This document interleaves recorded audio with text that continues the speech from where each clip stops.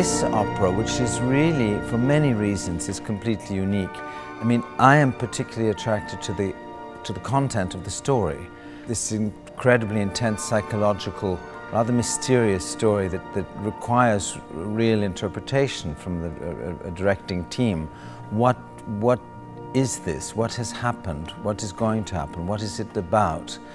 And I think that Korngold, um, who with his father was also responsible under a nom de plume for the libretto, they didn't sign it with their own names, they made up a name, was somehow bringing together many themes of the zeitgeist. Of course, Freud, of course, he was living in Vienna, and um, you know, 1920, there was a, a, a, lot of that in the air, but a lot of other things. And it's a really odd and quite a difficult piece to, for, for a whole company to bring about because Korngold, you know, it's his first opera, and he's putting in all these huge resources of chorus and children's chorus and an enormous orchestra. You know, it doesn't even fit in the orchestra pit here.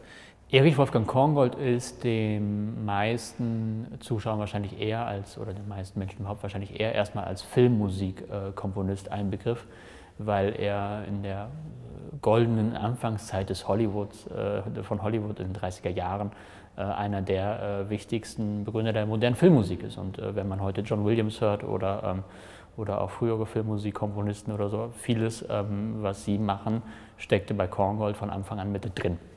at the end of the 20th century, as we remember, there was a movie about the sharks, where was the um, main theme like do do do do do do do do, and we know that something danger come come come come uh, comes out, and here's the same actually that. Uh, um, it's so visual and so understandable audibly that perhaps, uh, yeah, he a lot of work work on on our emotions. He was so clever to uh, make the instrumentation that that because this poly, what I said, the poly polydynamic stuff, the main theme are going through the instruments like that, but you don't feel who started and who finishing, because he so delicate and so scrupulous. No, is this one of the English scrupulous? Like very wrote all dynamics. So the horns disappeared in that time comes out the trombone, which is complete, almost the same color, but different. Trombone fades out, comes out the cello, for example. And this is not like a one tema is playing by the one, one section. It's, yeah, it's going like, like a snake through the lines. And, and you, as a listener, you even feel that.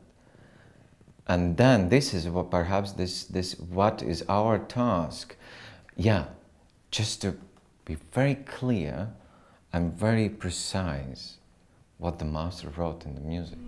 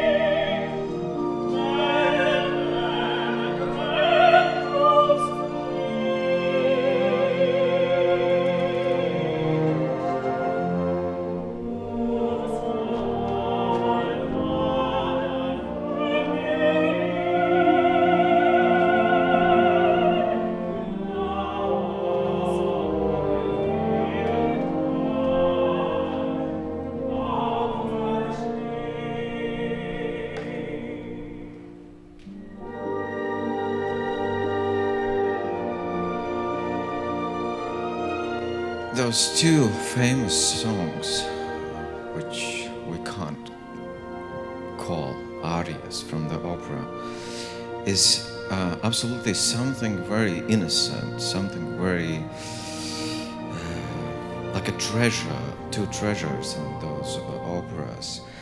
And as we know, uh, everything with what is genial is very sim simple. And the song is one of the oldest genres that we know, uh, it's one of the most clear genre to understand because whole opera structure is, oh my goodness, is very difficult and, and, and very hard. But suddenly comes out those two pearls, very bright and actually very easy to remember. Perhaps this was the idea of the Korngold to make around those two um, beautiful songs something very difficult. The way in which uh, Korngold um, has developed the story and composed the story is something way beyond. It's something, in fact, I'll tell you why I like this opera. It's something that only opera can do. Only opera can do what happens in the Tote Stadt, which is this, uh, the way in which music uh, gives life to intellectual um, statement. I mean, what, what you say is always comprehended, it means something, but the music gives it such an other existence. It's really huge, the emotion of this piece, while never really being clear. You don't know who Paul is, you don't know who his wife Marie was, you don't know how she died. The piece is full of questions, unanswered questions, things you don't understand. And yet, through the musical narrative, you do come to an understanding.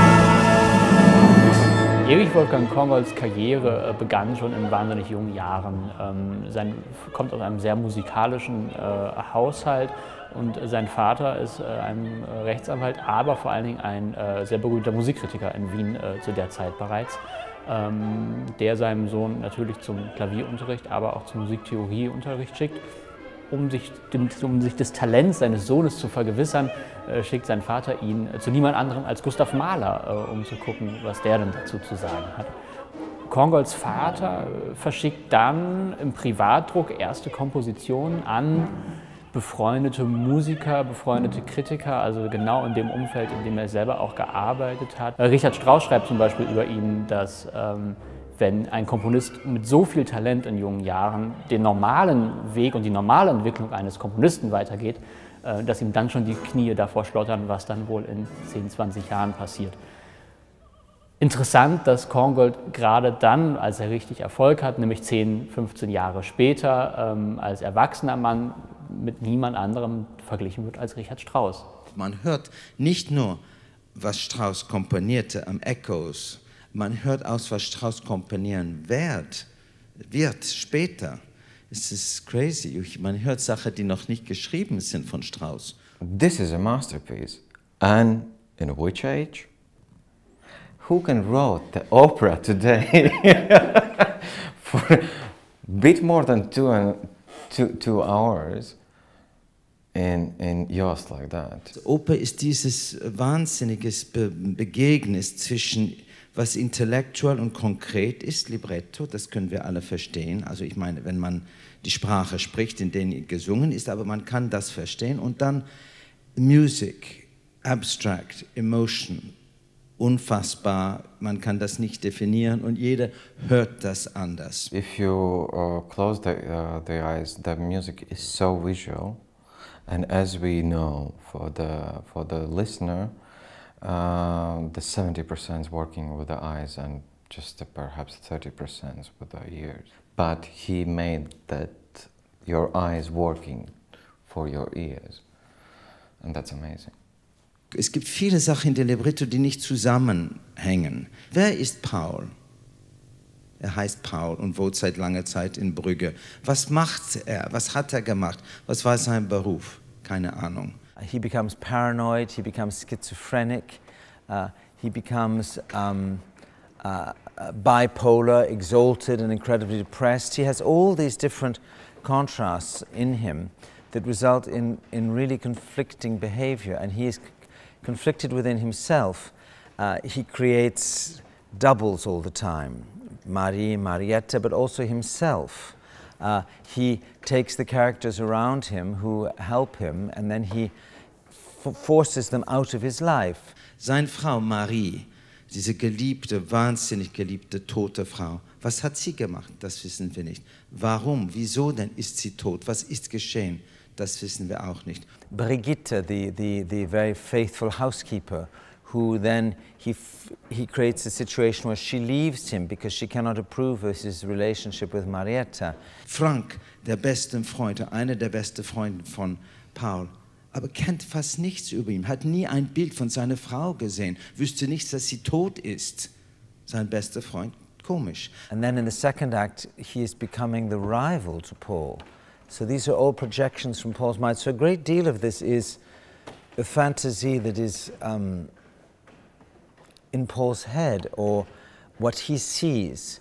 So from the beginning, this really is probably the most subjective opera ever written. Also es ist voller rätselhafte Sachen, die machen ein, ein unbequemes Atmosphäre, a kind of strange atmosphere.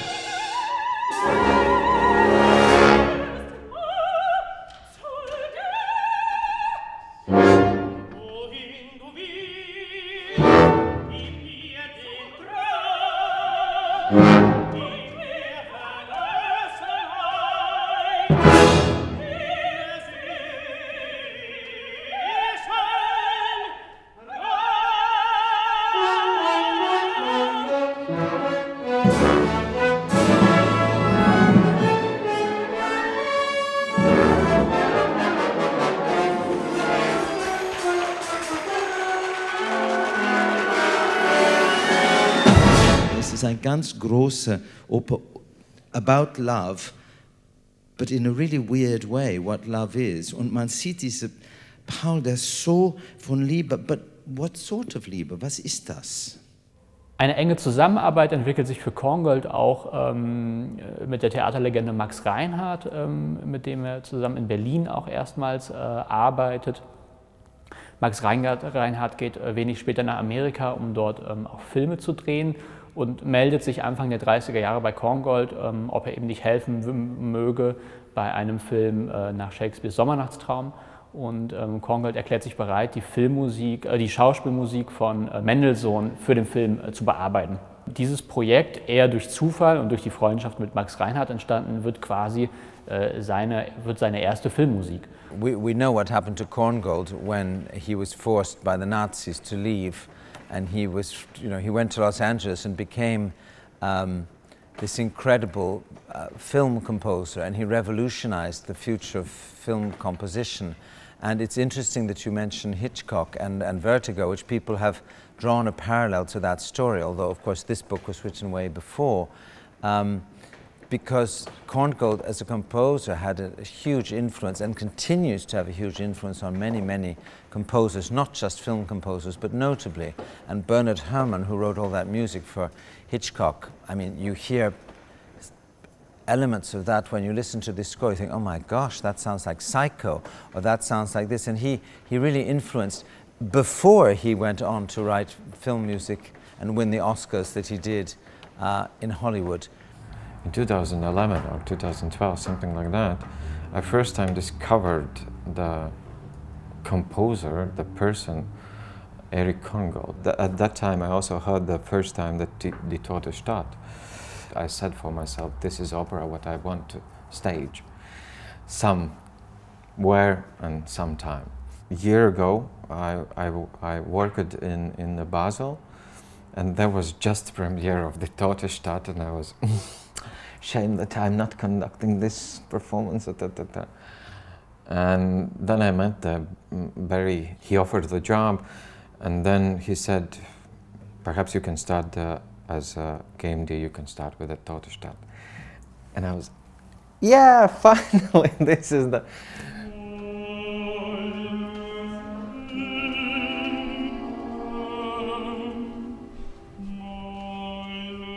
In diesem kurzen Zeitraum zwischen 1920 und 27, also zwischen äh, der Toten Stadt und dem Wunder der Heliane, zählt Korngold eigentlich als Mittelpunkt einer äh, modernen, ähm, modernen, spätromantisch geprägten Opernszene, eigentlich mit Richard Strauss, äh, mit Franz Schreker und noch einigen anderen. Äh, aber es ist sehr interessant, dass, dass Korngold äh, vor allen Dingen in diesem Zeitraum ähm, dazu zählt und nur wenig später, Ende der 20er Jahre, Anfang der 30er, obwohl er weiter Opern komponiert, ähm, ein wenig an den Rand gedrängt wird und plötzlich eher zum alten Eisen gehört. Hinzu kommt ähm, die, die Machtübernahme äh, der, der Nationalsozialisten, die sich ja dann auch äh, wenig später äh, auf Österreich ähm, stark auswirkt, gerade für einen äh, jüdischstämmigen Komponisten wie äh, Erich Wolfgang Korngold. Und jetzt kommt wieder der Ruf, in Hollywood zu arbeiten. Korngold verbringt ähm, zwei, drei Winter in Kalifornien, um dort zu arbeiten. Dann bekommt er das Angebot, Hauskomponist für Warner Brothers zu werden, was er daraufhin annimmt. Und dann setzt quasi die zweite Karriere dann auch im Exil mit seiner Familie ein ähm, als großer Hollywood-Filmkomponist. Äh, fünffacher Oscar-Nominierung und zweifacher Oscar-Gewinn unter anderem für Robin Hood und ein rastloses Leben. Und ähm, erst nach dem Zweiten Weltkrieg, erst 1947, widmet er sich erstmals wieder der, der absoluten Musik, außerhalb der ihn sehr beliebt und erfolgreich gemachten Filmmusik. Ähm, allerdings ähm, nicht mehr vergleichbar mit dem Erfolg, den er in den 20er Jahren hatte. Daher äh, kommt es auch, dass ähm, durch diesen quasi erzwungenen Wechsel äh, zur Filmmusik vieles von Korngold in Vergessenheit gerät und erst nach den 70er Jahren, als seine Werke in den USA wieder vom Neuen veröffentlicht werden, erst wiederentdeckt werden und jetzt seit den 90er Jahren auch auf der Bühne eine, äh, eine große Rolle zum Glück wieder spielen und man sich daran erinnert, dass Korngold nicht nur Filmkomponist war, sondern auch ein sehr guter und sehr beliebter Opernkomponist.